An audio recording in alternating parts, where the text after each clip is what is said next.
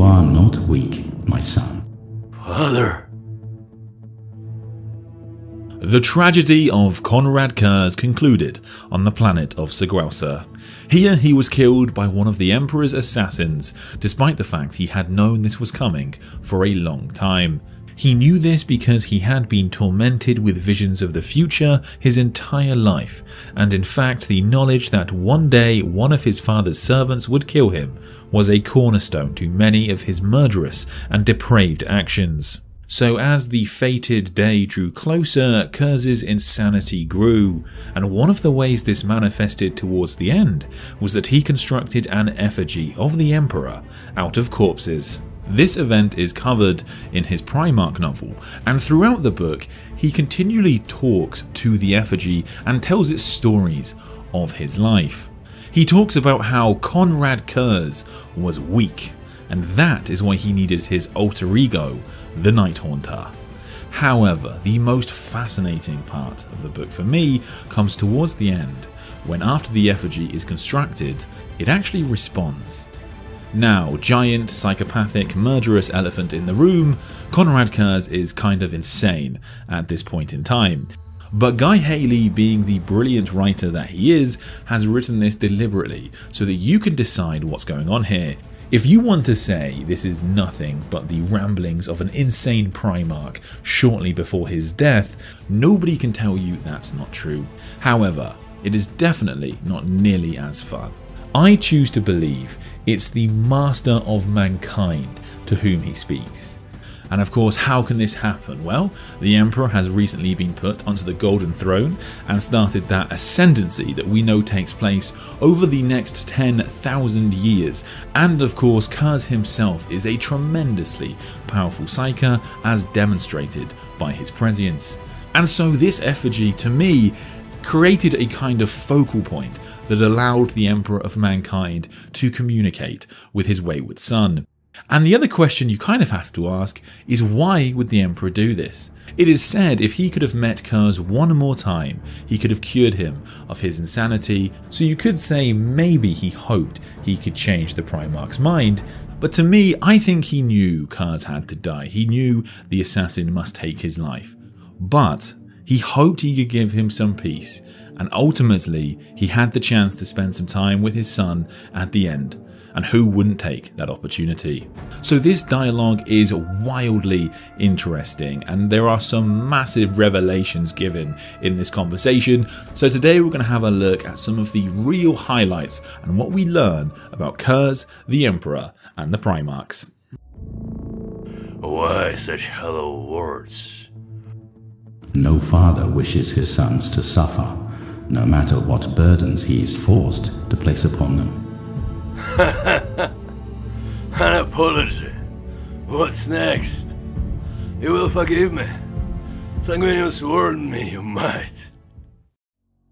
Sanguinius, the great angel, also had the gift of prescience, which allowed him to understand much of Curze's nature. Curze thought Sanguinius an angel of light, whereas himself an angel of darkness. It can be argued that it is because of Sanguinius that Curze died on Tsagualsa, as during the Horus Heresy, Curze caused absolute mayhem and slaughtered countless loyalists. He was captured by Lion El'Jonson, however Sanguinius took custody of the prisoner and declared he would take the Night Haunter back to Terra to face the Emperor's justice.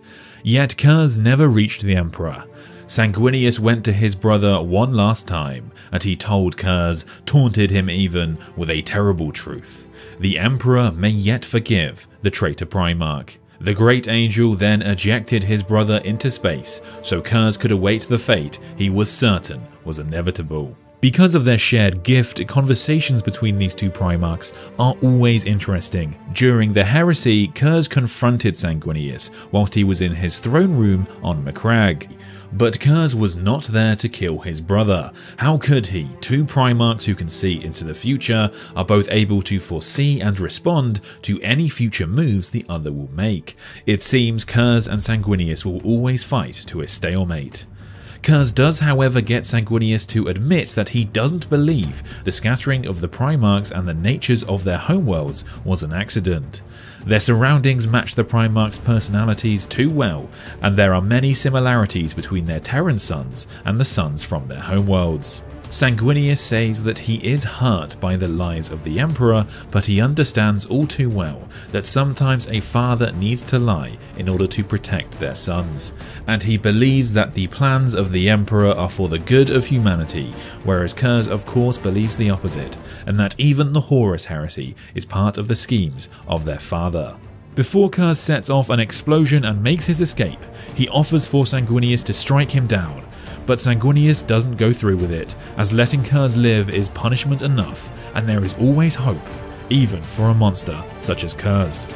As well as having visions of his own death, Curze also foresees the death of Sanguinius at the hands of Horus Lupercal, along with the deaths of multiple other Primarchs. In Prince of Crows, we see the Emperor and four of his other sons come to Nostramo. When Curze meets the Primarchs, for two of them he sees that they will die, and for two of them he sees visions that he doesn't understand, but we the reader know to mean that they will one day ascend to demonhood. The most interesting vision from my point of view is the vision he has when he meets Rogal Dorn. Curze sees him dragged down by a hundred murderers in a dark tunnel, their knives and swords wet with the warrior's blood. This roughly matches up with every Imperial Fist's greatest fear, that the Praetorian was overwhelmed by Chaos Space Marines on the traitorous ship, the Sword of Sacrilege, as he defended the Imperium against a Black Crusade.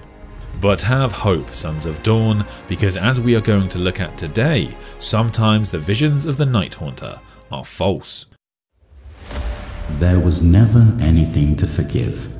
You acted as you were made to, but my plan was interfered with. Your insanity was not your fault, nor was it mine. Uh, lies! Everything was as you intended! Here, the Emperor is employing an ancient Terran parenting technique, essentially telling Curze that he's not angry, merely disappointed. He had plans for the Primarchs. We know that the Emperor had a substantial portion of the Imperial Palace cordoned off as an area for the Primarchs to be raised. Whether you believe it was solely via the intervention of the Chaos Gods, Horus hopping back in time, Argel Tal hopping back in time, the Perpetual Erda trying to save her children, or some other reason, the Primarchs were scattered and the Emperor's plans counted for naught. But whatever your theory for the Primarch's scattering, you'll never convince Curze of this, as he believed that everything that happened was planned by the Emperor. Curze even commands his sons to not intercept the ship of the assassin. He tells his son, Talos, that he needs to die, and he will embrace death gladly, so the Emperor can prove him right one final time. The Primarchs didn't all land on equally hospitable or kind worlds. Where someone like Roboute Guilliman was found by noblemen on the planet of Macragge, Konrad Curze's home planet of Nostramo was perpetually dark and suffered with a huge amount of pollution. The populace lived a hopeless existence, tormented by a ruling elite class and marauding criminal gangs. Overpopulation was not curbed by war, disease or law, but rather the staggering rate of suicide. Curze had no parents. He forged his own path on Nostramo through his cunning and brutality. The oppressive darkness of his environment stripped him of all emotion, causing him to develop a twisted sense of justice. Then, after he was united with his legion, he grew to despise his own sons. They were the worst scum of Nostramo, the very people he had tried so hard to contain before the Emperor found him. In the heresy, for example, he believed he had left them all for dead at Thramus, and he really didn't care because he hated them all. Curze's hatred even caused him to destroy Nostramo before the heresy began, once he learned that its corruption had returned. He was an outcast even from his brothers. Vulcan was captured by Konrad Curze in the Horus heresy and very rudely refused to die. But he still taunted Konrad. He said that none of the Primarchs actually fear Konrad Curze. They just pity him, tolerate him, because he is their brother. For what is there to fear but a petulant child raging at the dark? In fact, it's noted multiple times in the heresy when Curze isn't killing, he actually really resembles a scared child, desperate for the attention he was denied.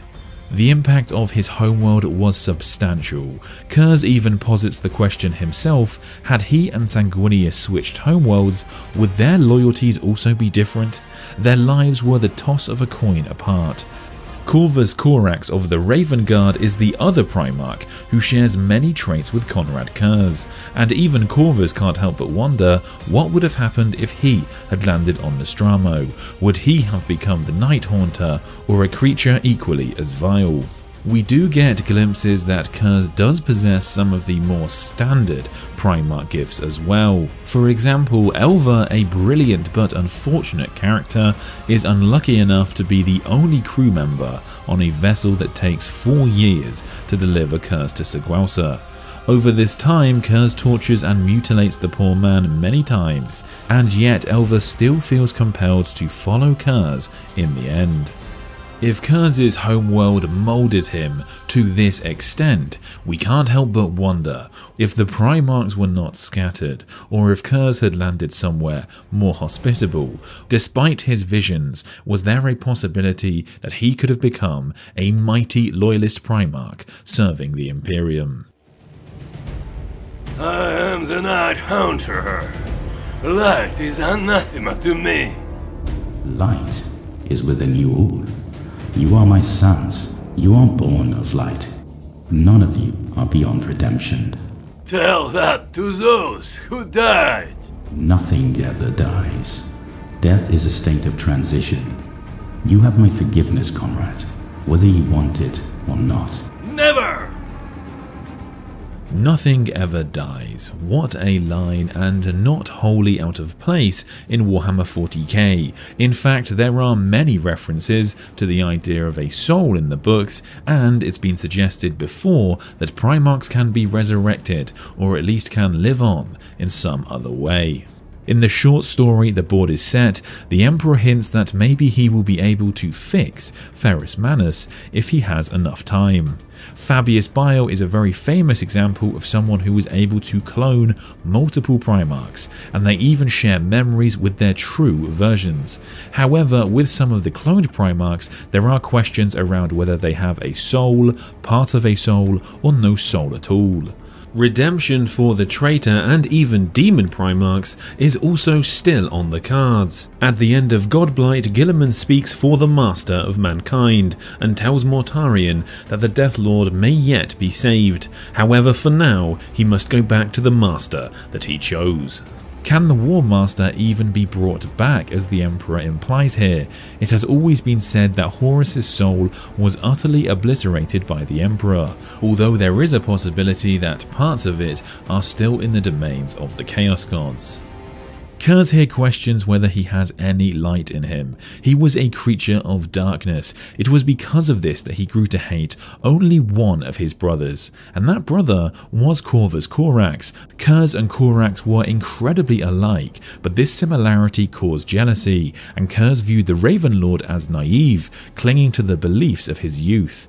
But the main reason Curze hated his brother was because of Corvus's innate ability to remain unseen, especially in the shadows. It is said that Corvus does not disappear as such. An automatic scanner, for example, can pick him up, but the minds of others will simply ignore Corvus Corax if he so wishes, and in that sense he is invisible. Curze, for all of his skill, can never match this ability. Where Curze merely haunts the night, Corax owns it. The shadows belong to him. You made but one mistake, my son. From it, all the evil you have perpetrated springs. You chose to believe in immutable fate. Without choice, there is nothing. These gods that taunt us rely upon choice. The functioning of this universe depends upon choice. A single fate is one book in a library of illimitable futures. You read only one. Do you not see that you chose this? You chose to be fate's prisoner. Had you believed in your own agency, none of this would have come to pass. You made this happen. You chose to be the way you are, trapped manipulated, insane. No! You sent the assassins to kill me. You want me dead. You determined what fate you trod. Your belief, my son, is nothing but an excuse for your own failings. No! Mm-hmm. I cannot be forgiven. After all I have done, where would be the justice in that? I had no choice. I had no choice. One of the most common questions fans of Warhammer 40k have is if the Emperor could see the future, did he know about the Horus Heresy, and why didn't he prevent it if he knew about it? And what the Emperor says here is a potential answer. Perhaps the Emperor saw the possibility of the betrayal, but that is not to be condemned in of itself. The Emperor is human of a sort and knows the weaknesses of mankind and himself. Perhaps he thought, hoped even, that Horus Lupercal would not turn and the War Master would stay loyal. On Nostramo, the Night Haunter was a vigilante, basically an ever so slightly more insane Batman. However, Curze had no qualms with killing people, but not just based on what they had done, but by the things they will do in the future. He says to Vulcan that nobody is really innocent and even kills a woman who is going to commit suicide. I believe that the one mistake the Emperor is describing here is when the Night Haunter apprehends a young criminal named Kazan.